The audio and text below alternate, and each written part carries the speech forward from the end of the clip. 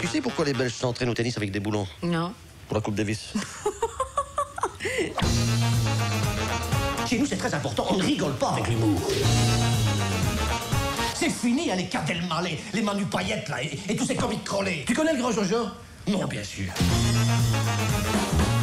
Jules Césaire, on l'appelait Jules Césaire, il mettait plein de falsaire pour convaincre les gens, ces gens de superstars.